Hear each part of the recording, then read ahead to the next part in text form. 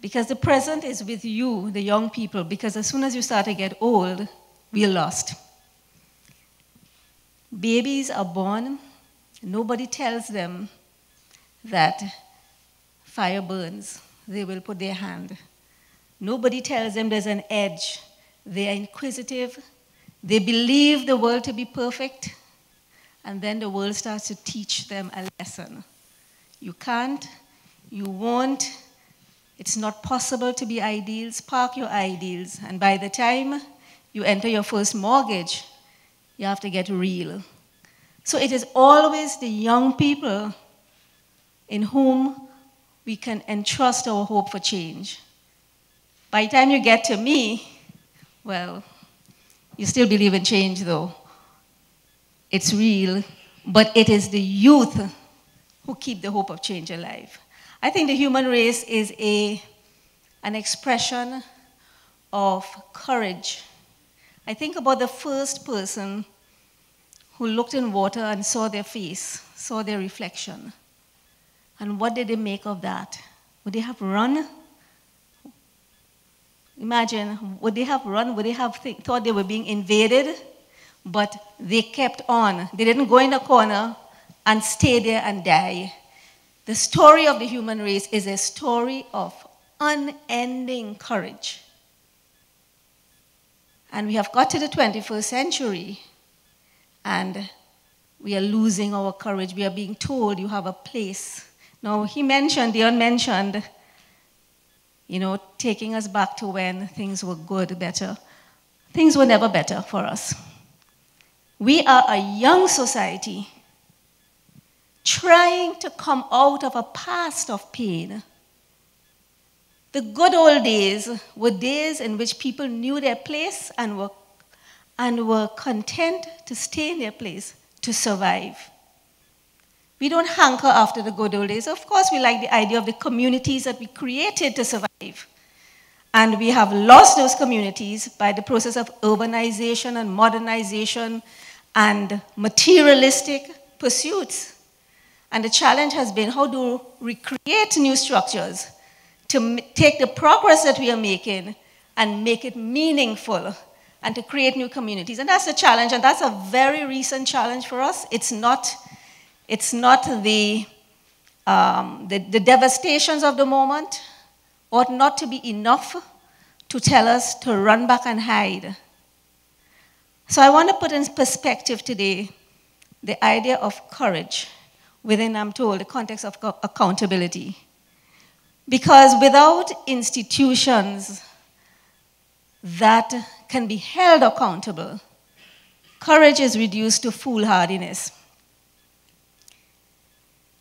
If you are the one person who will stand up and blow the whistle, everyone around, and, and your institution cannot be trusted to hear that whistle and act on it.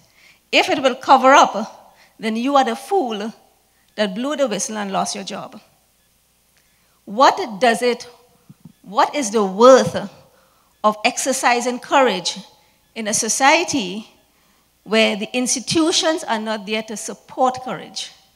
Where everywhere you go, you're being told, as a young person, you will, you will get into the world of work, and one of the first things that will be told to you, and will be told to you by your, often by your parents, and your colleagues and everyone around you, they'll tell you to get real.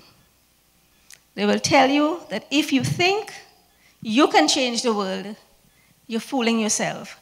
This is how the system works. And that is the institutional framework that we have inherited from the very same past that we think are the glorious days. It's an it is an institutional framework where power is unaccountable. Power is arbitrary. Power can decide if you should be kept out or brought in, and if you're brought in on the terms on which you're brought in. And the challenge for us today is to force institutions to become accountable. We start in the home, the first institution of the family. The accountability that parents have to children. Then we got into the world. And even, even last week in Parliament, I understand a minister of government told an opposition member, shut up and sit down. And that's, and that's, that's the nature of power. We have, on a day to day life, you go to the police station, hear how the police talks to you. They don't, you ask a question, why am I to do this? You're going to get bawled at. Because that is power. You take off the uniform of the police officer and they become a mouse. Right? People have so little power in their lives that the minute they have a little power, and you see it, you see it in the small ways, the security guard and so on, that the opportunity to exercise power is an opportunity to be what they have never been. Because the only model of power we have is power that is brutish.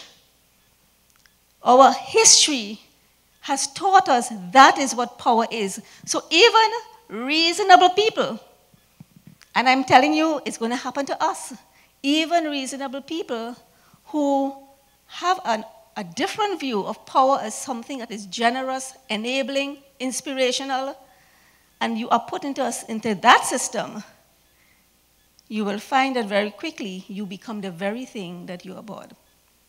And so, my few minutes today is to talk about transforming the institutional framework. Because until that is transformed, courage is a risky thing. Courage is the one person who will always get their head chopped off. And I meet them all the time, the people who stood up. You know what happens to most of them? They go crazy. They meet you and they tell you over and over and over the same story of what happened to them. And they went to the court and they went to this because they have never got over the fact that they dared to do the right thing and the universe let them down. And all the people who are weak are the ones who are moving up in the world because the society is engineered to protect the status quo. It recognizes the virus of change and it sets out to destroy that virus wherever it finds it. If they can, they will, they, will, they will block you before you get in, if they figure it out. If you somehow outsmart it and get in because they got tricked, they will seek and destroy the minute you do. This is our society. This is how the status quo has managed to replicate itself over and over, plus a chance, plus a memshas. How do you take that over now? I think it can only change from the individual acting in, in collaboration with others. It will change one at a time. It will change when I speak and somebody else recognizes in what I speak something they are saying and reach out, reaches out to me and say that two of us know. And then some two other people reaches out and say there are four of us. One of the distinguishing features of this society is the engineering to create silos. This is a society in which you can live in a bubble and believe it's the world. And if you have that experience, if you have not noticed that experience, ask yourself why are you so often shocked by things in this society? If you knew the society, you'll never be shocked. You'll never be shocked that we had an attempted coup one day. You will never be shocked by the heinousness of crime. You will never be shocked by the fact that the good people come last. You will know that that is the nature of the society. And when you are shocked, it's because you are in a bubble. And this society has been created as all the all the societies in the British West Indies have been created to be controlled through division. Because the most challenging thing to a minority authority force is unity, collaboration, solidarities endanger that. And every time in our history you look back, whenever people came together, the status quo was threatened and fearful and, and came down heavy handed. We go back to 1987, we go back to 1970, over and over when people start coming together, there's an intervention to block solidarities.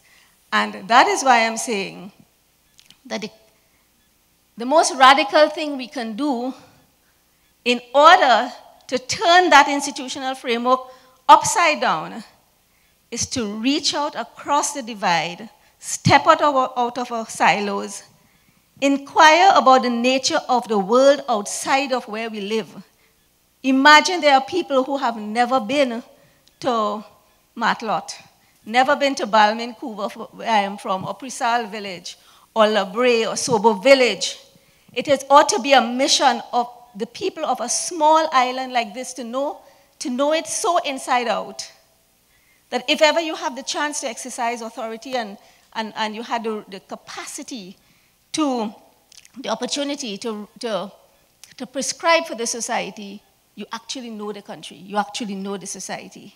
Is it any surprise that we are bringing to the fore, not just in government, but in the police service and the Chamber of Commerce and everywhere leadership that doesn't know the place? And then we wonder about the dysfunction. So I will just end my few words. I think my time should be up by now. That make a personal commitment. Have the courage to reach out to the forces that not only you don't know, but you might even be afraid of. Have the courage to listen, to walk in the shoes of the other. Then you might build on the basis of commonality rather than difference. Too often, the first thing we do is, what is different? What do we have different from each other? And we stop at the differences, nowhere to go after that. If we can find one thing in common, then we have a framework for engagement. When we have engagement, then we have something. And when we speak out, when we let our voices heard, I can guarantee you you will hear more than an echo. We are never alone. We are encouraged to believe we are alone and we are singular and we are the exception. We are not the exception. There are more people like you out there than you can even begin to imagine. You just have to let them know you exist. Get in touch with the country. Thank you.